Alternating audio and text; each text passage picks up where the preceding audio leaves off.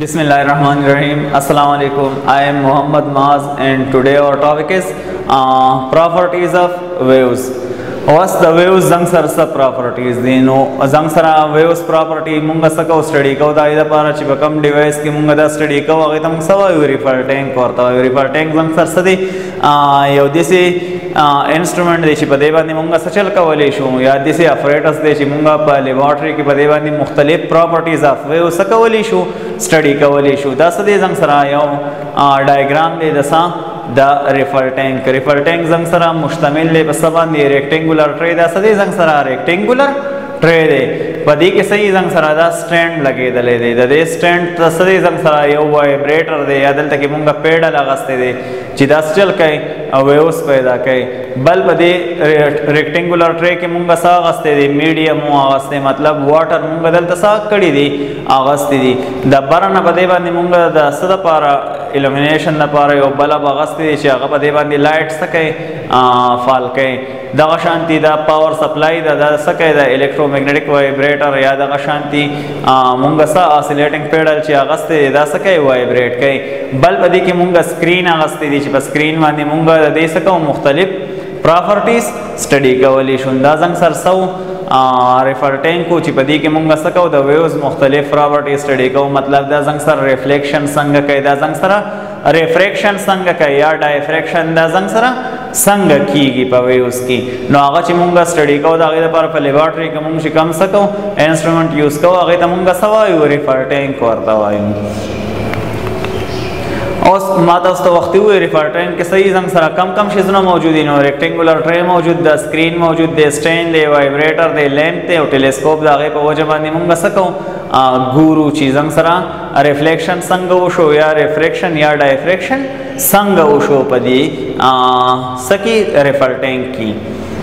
اولنې موږ څه خبره کوو ریفلیکشن ریفلیکشن موږ څه توایو باونسینګ بیک اف ویوز توایو کله چې ویوز چې او شي زنګ سره د یو ریجټ سرفیس سره څه شي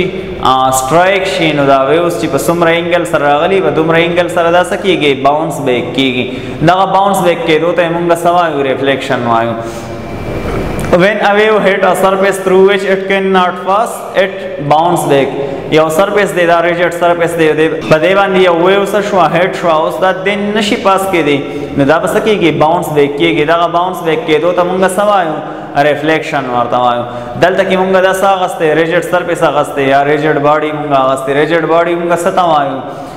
نو ریجټ باډي زنګ سره هر هغه باډي چې کله هغه سکه موشن کوي او د دې په شیپ کې چینج نه راځي هغه ته موږ سوایو ریجټ باډي ورته وایو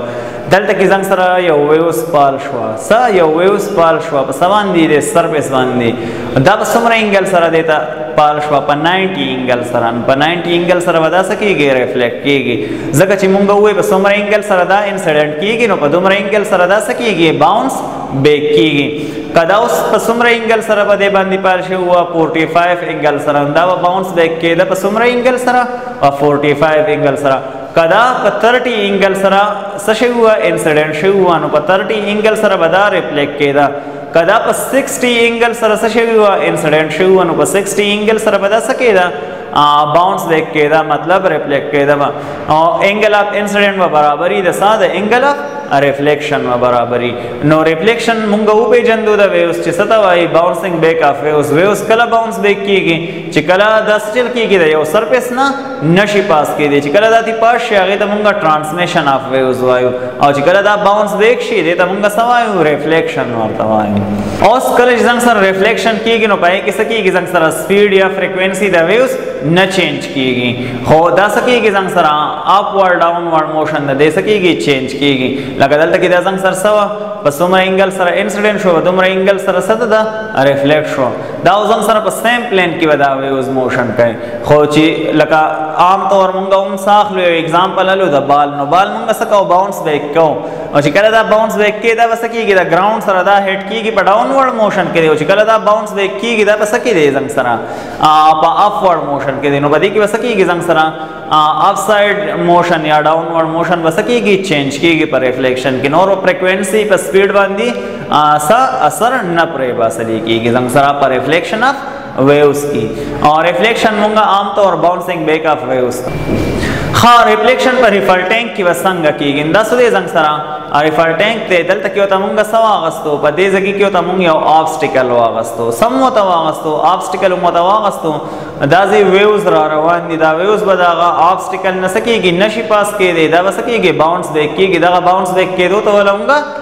ریفلیکشن وایو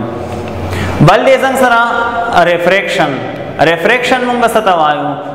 بینډینګ اف ویوز ته وایو کله چې د یو میډیم نه بل میډیم ته څه کیږي انټر کیږي لکه دا چې کوم یو ساده مثال ډیلی لایف کې موږ ډیر زیات ابزرو کو یو څه د ګلاس ته پای کې څه دی واټر موجود دی او پنسل پکې دا څه کو کې خو چې خلک ګورین دا پنسل څه کیږي خلکو ته د څه ښکاری چې دا څه شوی دی بند شوی کوک شوی دی دا خلکو ته د صد وجینه دغه شانتی ښکاری دا ریفریکشن د وجینه یا بل مونږه اکثر اخلو د شپې مالي مونږه د اسمان ته ګورو نو مونږ د ستوري ښکاری غستوري سکه ټوینکلینګ کوي د څه د وجینا د ریفلیکشن د وجینا ریفریکشن څه ته وای بینډینګ اف ویو ته وای کله چې ویوز د یو میډیم نه بل میډیم ته سکیږي انټر کیږي دلته کې څه شو زم سره ا دې دا ایم ایچ چې موږ د ښکار انسټل کیږي لایټ په دې باندې انسیډنټ شوی دا زنګ سره یو میډیم دی واټر دلته کې څه دی ای آر دی دا بل میډیم دی د ډینسر نه چې زنګ سره اوس دا لایټ د دې سرفیس نه څه شو ریفلیکټ شو نو څه چل کیږي زنګ سره دا چې دی واټر د دې میډیم نه وزي چرته کې ای آر تندا اوې فرام د نارمل بینډ کیږي د دې وجینا دا امیج مونږ ته صحیح نخ کاری سټریټ لاین کې مونږ ته دا نخ کاری نو دغه بینډ کېدو ته مونږه سوایو اصل کې د بینډ کېدو ته مونږه سوایو ریفریکشن ورته وایو ریفریکشن کې وسه چل کېږي څنګه سره اټ از کازډ بای د چینج ان سپیډ اف ویو از اټ موو فرام ون میډیم ټو انذر دا څنګه سره ولي دا مونږ ته بینډ ښکاری د سده وجینا د سپیډ د وجینا اصل کې په دې میډیم کې د لایټ سپیډ څنګه سره یو شان دی په دې میډیم کې د لایټ سپیډ څنګه سره بل شان دی سپیډ اف لایټ زنګ سر سکیږي چینج کیږي او هغه لایټ کم چې دینه ریفلیکټ شوی هغه زنګ آی دراشي نو موږ ته امیج ښکاری دلته کې د لایټ په سپیډ کې سره هغه چینج راغی دا غي د وجنه د موږ ته سخ کاری بند ښکاری نو مطلب دا ډیفند کوي په سبان دی ریفریکشن چې دی ډیپند کوي په سپیډ باندې ګریټر چینج ان سپیډ چې سمرا په دې سه سپیډ کې ډیر زیات چینج راتلون دا غي د وجنه دا وی اوس موږ ته سکیږي سیوا بند ښکاری کله چې مونږ په سکه اخلو ریفرټینګ کې مونږ ګورو چې په ریفرټینګ کې وسنګ ریفلیکشن کېږي دا څه دی یو ریکټینګولر ټری غسته دي د پاسه مونږ واټر غسته دي واسطه دی واټر ویوز نه لاندې مونږ سوا غستو یو پلاستیک شیټ واغستو او ګورو په سکرین باندې چې ویوز څنګه زنګ سره پیدا کیږي نو اوس چې کله دا ویو زنګ سره په دې میډیم کې پیدا کیږي چې کله بل میډیم وته مونږ سکو د یو میډیم نه بل میډیم ته دا انټر شي دا ویوز نو سبا کیږي زنګ سره په دې کې به بینډینګ راځي په سکرین باندې واغه مونږ ته ښکاری نو دغه سدي زنګ سره کم بینډینګ چې راغی دغه بینډینګ ته مونږ سوایو ریفریکشن ډایفریکشن اف ویوز ډایفریکشن مونږه ستا وایو نو ډایفریکشن عام طور مونږه ستا وایو د بینډینګ اور سپریډینګ اف ویوز چې کله زنګ سره د یو نیرو سلیټ نه ویو څه شي پاش شي نو دا څه کېږي سپریډ آوټ کېږي دغه سپریډ کېدو ته وله مونږ څه وایو د سپریډ کېدو ته وله مونږ ډایفریکشن وایو نو مونږ ډیفینیشن کوو د بینډینګ آف ویو ایز اټ موو اراوند ان آبسټیکل آر پاسز تھرو ا نرو اوپننګ مطلب یو نیرو اوپننګ دی دا غي نه ویو څه کېږي پاس کېږي دا ویو څه کېږي سپریډ آوټ کېږي دې ته مونږ څه وایو دې ته مونږ ډایفریکشن وایو بل اگزامپل مونږ سره روشي دا چې څه دی یو نایف دی نایف باندې یو ویو څه شو پال شو دا ویو څه کېږي څنګه سره بینډ شي دغه بینډ کېدو ته ولا مونږ څه وایو ډای فریکشن وایو بیا په ریئر فریکشن پر ریفریکشن او په ډای فریکشن کې څه فرق دی عام طور په ځوان کې مو چې بینډینګ کیږي سکیږي پکې بینډینګ کیږي نو فرق پکې څه شو نو ریفریکشن چې دی هغه به صحیح څنګه سره هغه به د یو میډیم نه بل میډیم ته ویوز دي ډایفریکشن چې دی دا په سیم میډیم کې څه کیږي بینډینګ کیږي دا ویوز چې کله د یو څه سره یو آبسټیکل دا ایچ سره دا ولګي دا څه شي بینډ شي دغه بینډ کېدو ته بیا موږ څه وایو ډایفریکشن وایو ډایفریکشن په یو میډیم کې کیږي سیم میډیم کې او ریفریکشن چې دی هغه به ځان سره په ډیفرنٹ میډیم کې کیږي اوس دلته کې دا څه دي زنګ سره یو سلیټ دی ریفرټینګ دی پای کې مونږ جواب سټیکل واغستل دا یو منس کې مونږ سوا غستو سلیټ واغستو دا ویو سټیکل څه کیږي پاس کیږي دا څه کیږي زنګ سره سپریډ اوټ کیږي دا سپریډ اوټ کېدو ته ولا مونږ سوا یو دی دا ډایفریکشن وایو نو نن مونږ سټډي کړل سا پراپرټیز اف ویو پراپرټیز اف ویوز کې مونږ یو د ریفلیکشن خبر او کړه یو دا ریفریکشن او بل د ډایفریکشن نو ریفلیکشن مونږ څه ته وایو باونسینګ بیک ته وایو چې کله ویوز د یو ریجټ سرفیس نه څه شي باونس بیک شي ایت مونږ څه وایو ریفلیکشن ریفریکشن مونږ څه ته وایو چې کله څنګه سره د یو میډیم نه ویوز بل میډیم ته پاس شي انټر شي په دې کم بینډینګ راشي هغه ته موږ څه وایو ریفریکشن او ډایفریکشن موږ څه ته وایو سپریډینګ اف ویوز ته وایو کله چې د یو نیرو سلیټ نه داسې شي پاس شي دې ته موږ څه وایو ډایفریکشن وایو